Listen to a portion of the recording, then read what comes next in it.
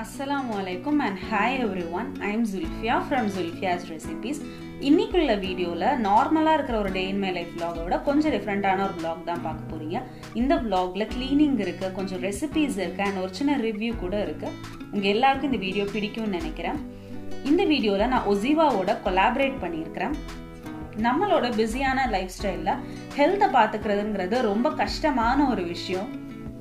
And நம்ம active லைஃப்க்கு தேவைப்படுற மாதிரி சில ப்ராடக்ட்ஸ் வந்து ஒசிவாலேருந்து டெலிவர் பண்ணுறாங்க ஒசிவாலேருந்து ஃபர்ஸ்ட் எனக்கு காண்டாக்ட் பண்ணும்போது நான் கூட கொஞ்சம் பயந்தேன். இந்த மாதிரி ப்ரோட்டீன் பவுடர்ஸ்லாம் சாப்பிடலாமா? சாப்பிட்டா வந்து வெயிட் போடுமா? அப்படிங்கிற பயம் வந்து எனக்கு ரொம்ப இருந்துச்சு.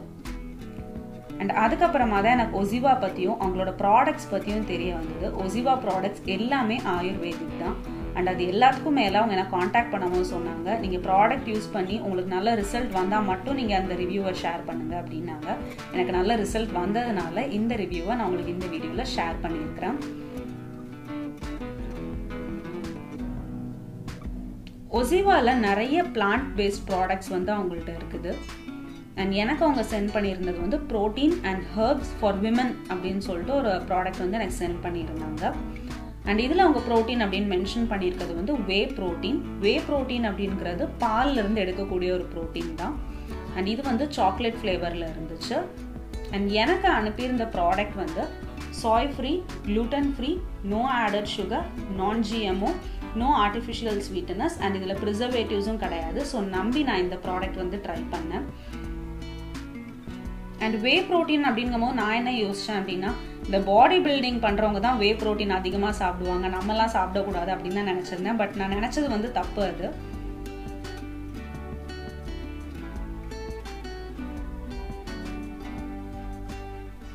ஒசிவா வச்சு நான் ஃபர்ஸ்ட் ஒரு அவல் மில்க் ரெசிபி வந்து காட்டுறேன். நான் இதுக்கு முன்னாடியே ஒரு பிளாகில் வந்து அவல் மில்க் ரெசிபி வந்து காட்டியிருக்கிறேன். பட் அதுவும் இதுவும் கொஞ்சம் டிஃப்ரெண்ட் தான். ஏன்னா இது ஒசிவா வச்சு பண்ணுறதுனால நான் வந்து நேந்திரம் பழம் எடுத்திருக்கிறேன். நீங்கள் சின்ன சின்ன வாழைப்பழமாக கிடைக்கும்ல அது கூட எடுத்துக்கலாம் உங்களுக்கு இந்த ரெசிபி வந்து நல்ல க்ரீமியாக வேணும் அப்படின்னா நீங்கள் ஃப்ரோசன் பனானா எடுத்துக்கோங்க. பட் நான் சாதாரண பனானா தான் எடுத்திருக்கேன் ஃப்ரோசன்லாம் எடுக்கல. ஸோ இது ஒரு ஜாருக்கு நான் மாற்றிட்டேன் இது கூட நான் ஒரு ஸ்கூப் வந்து ஒசிவா எடுத்துருக்கிறேன். இந்த ஒசிவா வந்து இப்படி தான் சாப்பிடணும்னு கிடையாது. நீங்கள் பிளெயின் வாட்டரில் ஒரு ஸ்கூப் மிக்ஸ் பண்ணி சாப்பிட்டுக்கலாம் இல்லை ஆறின பாலில் கூட நீங்கள் இதை மிக்ஸ் பண்ணி சாப்பிடலாம். பட் சூடான பாலில் எடுத்துட்டீங்க அப்படின்னா பால் தெரிஞ்சிரும்.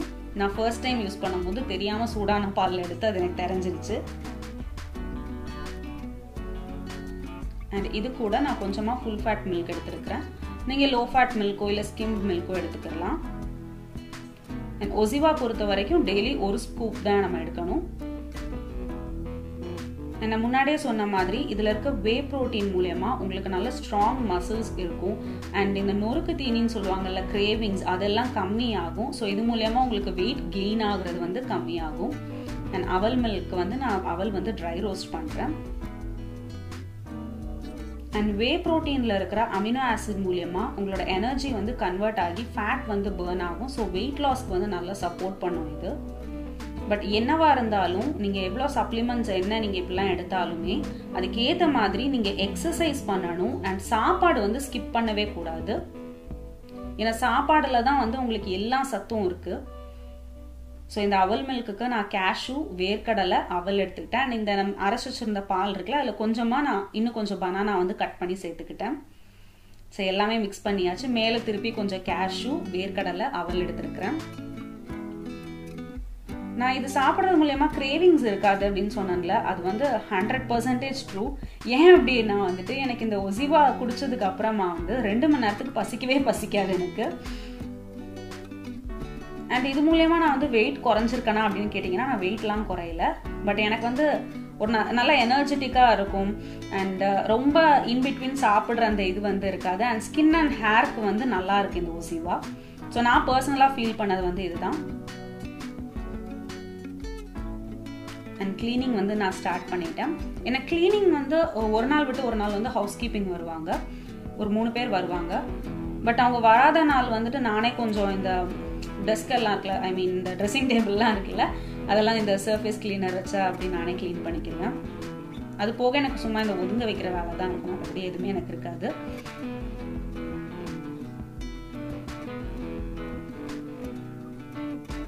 அதே மாதிரி அவங்க ஒரு நாள் விட்டு ஒரு நாள் வந்து கார்பேஜ் வந்து எடுத்துகிட்டு போயிடுவாங்க பட் என்ன அப்படின்னா கார்பேஜ் பொறுத்த வரைக்கும் நம்ம டெய்லி எடுத்துடணும். இல்லை அப்படின்னா வந்து அது ஸ்மெல் வர வந்துடும் இல்லையா? அதனால வந்து நான் கார்பேஜ் மட்டும் டெய்லி எடுத்துருவேன்.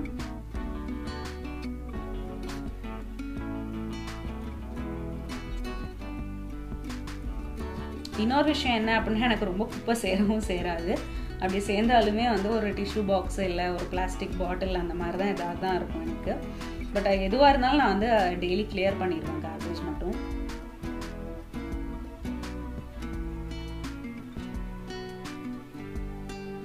எனக்கு வேலை அப்படின்னா வீட்டில் இது மட்டும்தான்.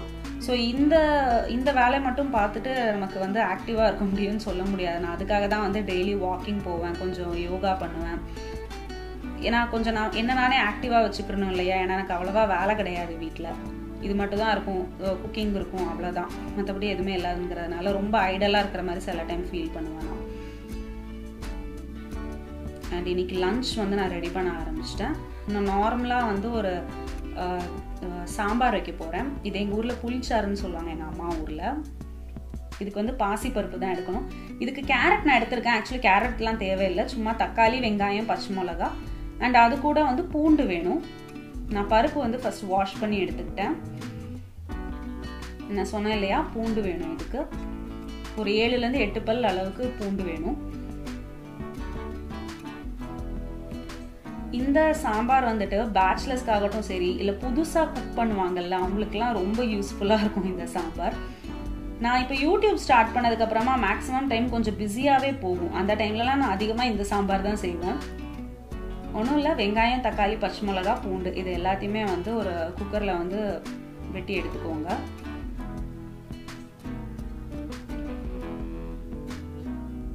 தக்காளி வந்து ரொம்ப ப்ரிசைஸாக இந்த சைஸில் தான் வந்து நம்ம வெட்டணும்னு கிடையாது. சும்மா ரஃப்பாக சாப் பண்ணிக்கோங்க. ஏன்னா கடைசியில் எப்படினாலும் நம்ம வந்து இதை மசிச்சிருவோம்.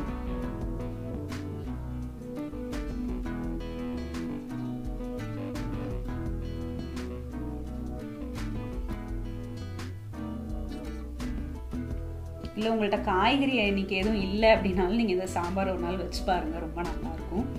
கொஞ்சமாக மஞ்சள் தூள் எடுத்துருக்கிறேன். அண்ட் ஒரு ரெண்டு டீஸ்பூன் அளவுக்கு சாம்பார் பொடி எடுத்துருக்கிறேன். கொஞ்சமாக பெருங்காயம். அண்ட் வாஷ் பண்ணி வச்சுருக்கோம் இல்லையா பருப்பு அதையும் சேர்த்தாச்சு. ஒரு டீஸ்பூன் அளவுக்கு ஜீரகம் எடுத்துருக்கிறேன். இந்த கை வச்சு நல்லா நம்ம மிக்ஸ் பண்ணி விட்டுடலாம் ஃபஸ்ட்டு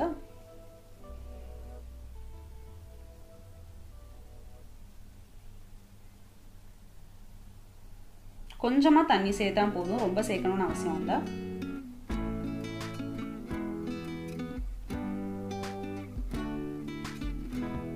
ப்ரெஷர் குக்கரை வச்சு கவர் பண்ணிவிட்டு ஒரு மூணுலேருந்து நாலு விசில் வர வரைக்கும் நீங்கள் விட்டுருங்க.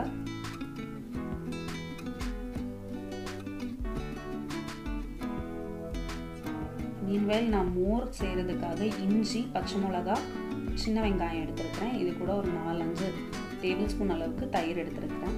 என் ஹஸ்பண்ட்க்கு வந்து அன்றைக்கி ஆக்சுவலாக வந்து ஃபர்ஸ்ட் ஷிஃப்ட் அண்ட் அது போக இங்கே சம்மர் வந்து பீக்கில் இருக்கு. அவங்க ஆஃப்டர்நூன் வேறு வருவாங்க. அதனால தான் வந்து அன்றைக்கி நான் மோர் ரெடி பண்ணேன். மேக்ஸிமம் அவங்க ஃபர்ஸ்ட் ஷிஃப்ட் போகிற டைமில் வந்துட்டு நான் வாட்டர் மெலான் கட் பண்ணி வச்சுருவேன். இல்லை அப்படின்னா மோர் வந்து ரெடி பண்ணிடுவேன்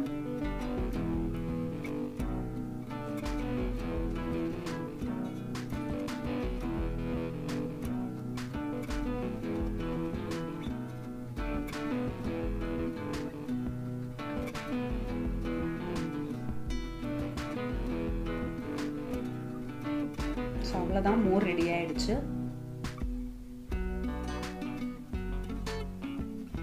அண்ட் சாம்பாருக்கு வந்து புளி ஊற வைக்கிறேன். அண்ட் அது போக நான் ஈவினிங்க்கு வந்து ஒரு கப் கேக் வந்து செய்ய போகிறேன் ஒசிவா வச்சு. ஃபர்ஸ்ட் இயர் நான் இப்போ செஞ்சு எடுத்து வச்சிருக்கேன் ஒசிவா வச்சு தான் செய்ய போகிறேன் அந்த கப் கேக் ஸோ இந்த ரெசிபிக்கு வந்துட்டு ஒரு சின்ன கப்பில் வந்துட்டு ஓவனில் வைக்கிற மாதிரி ஒரு கப் எடுத்துக்கோங்க. ஒரு ஸ்பூன் வந்து நான் ஒசிவா ரெண்டு டீஸ்பூன் வந்துட்டு கோதுமை மாவு எடுத்துருக்கிறேன். அண்ட் ஒரு டீஸ்பூன் அளவுக்கு கோகோ பவுடர் ஒரு ஒன்றரை டீஸ்பூன் வந்து ப்ரௌன் சுகர் எடுத்துருக்கிறேன். நீங்கள் வெல்லம் வேணாலும் எடுத்துக்கலாம். அண்ட் ஒரு டீஸ்பூன் அளவுக்கு எக்ஸ்ட்ரா வர்ஜின் கோகோனட் ஆயில் ஒரு பிஞ்ச் உப்பு ஒரு பிஞ்ச் வந்து பேக்கிங் சோடா அண்ட் ரெண்டு பிஞ்ச் பேக்கிங் பவுடர் எடுத்துருக்கிறேன். இது கூட வந்துட்டு நம்ம பால் எடுத்துக்கிடலாம் ஒரு மூணு டீஸ்பூன் அளவுக்கு பால் எடுத்துருக்கிறேன். நான் பண்ணுறது வந்து ஒரு சர்விங் தான். அந்த ஒரு கப் அளவுக்கு தான் வந்து அந்த கேக் வரும் சும்மா ஈவினிங் டைம் சாப்பிட்றதுக்கு நல்லாயிருக்கும். ஹெல்த்தியாகவும் இருக்கும் இது. ஒசிவா ஆட் பண்ணியிருக்கிறோம் அண்ட் அது போக கோதுமை மாவில் தான் இது நம்ம செய்கிறோம் ஸோ இது ஹெல்த்தியான ஒரு கப் கேக் தான் இது. இதை நல்லா மிக்ஸ் பண்ணிக்கிடலாம். கட்டி விழுந்துரும் அது ஈஸியாக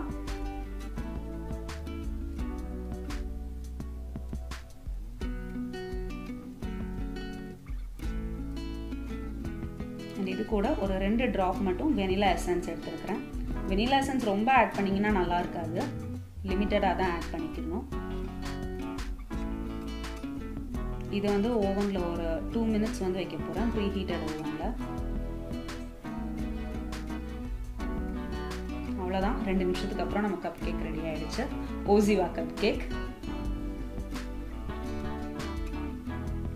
இந்தியா நம்மளோட குக்கர் வந்து விசில் வந்து ப்ரெஷர்லாம் நல்லா ரிலீஸ் ஆயிடுச்சு. ஸோ இதை நம்ம வந்து நல்லா மசிச்சு விட்டுக்கலாம்.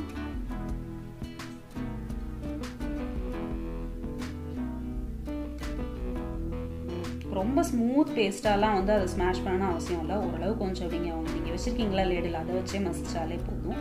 நம்ம கரைச்சி வச்சிருக்க புளியும் சேர்த்து கொஞ்சமாக உப்பு கொத்தமல்லி சேர்க்கணும்.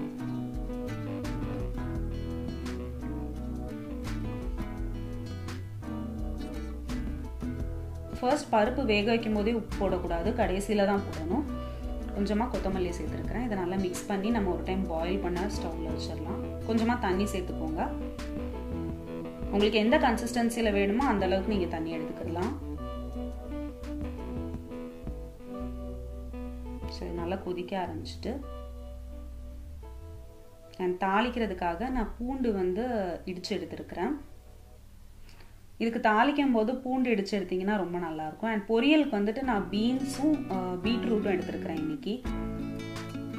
மீன்வேல் நமக்கு ப்ரெஷர் குக்கரில் சாம்பார் வந்து நல்லா கொதிச்சிட்ருக்கு. அது நல்லா கொதிச்சதுக்கு அப்புறமா நம்ம தாளிச்சு ஊற்றினா போதும். ஃபர்ஸ்டே இது பண்ணிட வேண்டாம்.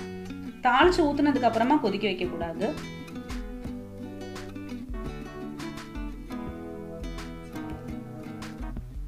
சாம்பாரில் வந்து காய் எதுவுமே இல்லாததுனால தான் நான் இன்றைக்கி வந்து ரெண்டு பொரியலாக வச்சுருக்கிறேன். இல்லை அப்படின்னா ஒரு பொரியல் தான் வைப்பேன். ஸோ ஒரு பேனில் நெய்யில் தான் வந்து நான் இன்றைக்கி தாளிக்கிறேன். பூண்டு அதுக்கப்புறம் வந்து ரெட் சில்லி எடுத்துருக்கிறேன். சாம்பார் என்றைக்குமே நெய்யில் தாளிச்சிங்கன்னா ஃப்ளேவர் வந்து ரொம்ப நல்லாயிருக்கும் ஸ்பூன் அளவுக்கு கடுகு ஜீரகம் அண்ட் கொஞ்சமாக வெந்தயம் எடுத்துருக்கிறேன்.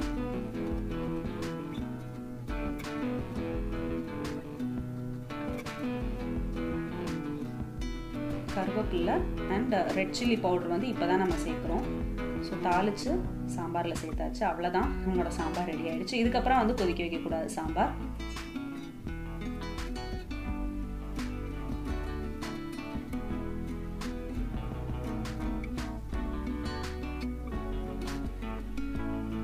பொரியலுக்கு வந்து நான் காய் கட் பண்ண ஸ்டார்ட் பண்ணிட்டேன். ஃபர்ஸ்ட் பீன்ஸ் பொரியல் அதுக்கப்புறம் பீட்ரூட் பொரியல். அண்ட் அரிசி வந்து காலி ஆயிடுச்சு.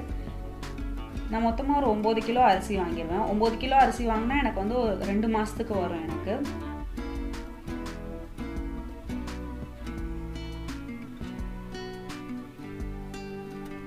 நான் யூஸ் பண்ணுறது வந்துட்டு பொன்னி அரிசி தான். தஞ்சாவூர் பொன்னி யூஸ் பண்ணுறேன் இது தஞ்சாவூர் பொன்னியில் சோனா மசூரின்னு நினைக்கிறேன். அதுவும் அதுவும் ஒன்றான்னு எனக்கு தெரில சோனா மசூரி அது மட்டும் ஞாபகத்தில் இருக்குது இப்போ பொரியல் செய்கிறதுக்கு தேங்காய் எண்ணெயில் கடுகு உளுந்து ஜீரகம் எடுத்து அதில் வெங்காயம் பச்சை மிளகா அதுக்கப்புறம் கருவேப்பிலை அதெல்லாம் போட்டு தாச்சிருக்கேன் பொரியல் ரெசிபி மேக்ஸிமம் எல்லாருக்கும் தெரியும்னு நினைக்கிறேன். தெரியாட்டி சொல்லுங்கள் நான் அதை வந்து இன்னொரு வ்ளாகில் நான் உங்களுக்கு சொல்கிறேன்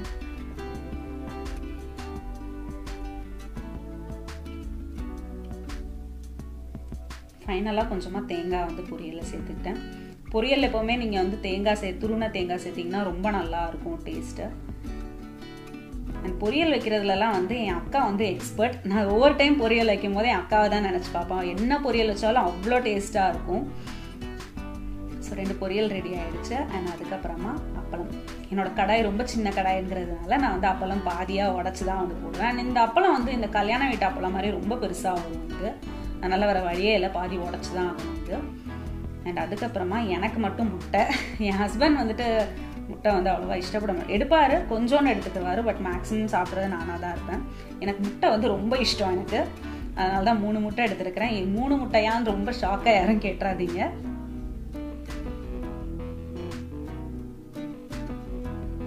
அவ்வளோதான் எங்களோட லன்ச் இன்னைக்கு. அப்பளம் எடுத்துருக்கிறேன். பீன்ஸ் பொரியல். பீட்ரூட் பொரியல்.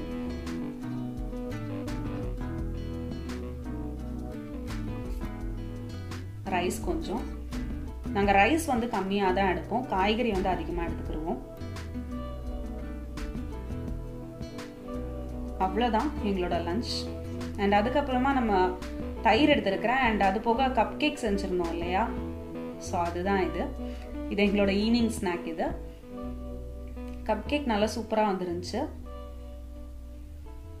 ஸோ ஒசிவாவோட லிங்க் வந்து நான் டிஸ்கிரிப்ஷனில் ஆட் பண்ணியிருக்கிறேன். உங்களுக்கு அவங்கள காண்டாக்ட் பண்ணால் நீங்கள் அது மூலயமா அவங்கள காண்டாக்ட் பண்ணலாம். அவங்களோட ப்ராடக்ட்ஸ் எல்லாமே நீங்கள் ஒரு டைம் செக் பண்ணி பார்க்கலாம். உங்கள் எல்லாருக்கும் இந்த வீடியோ பிடிச்சிருக்கு அப்படின்னா லைக் பண்ணுங்கள் உங்களுக்கு எதுவும் தாட்ஸ் இருக்குது அப்படின்னா கமெண்ட் பண்ணுங்கள் சப்ஸ்கிரைப் பண்ணலன்னா சப்ஸ்கிரைப் பண்ணுங்கள் தேங்க்யூ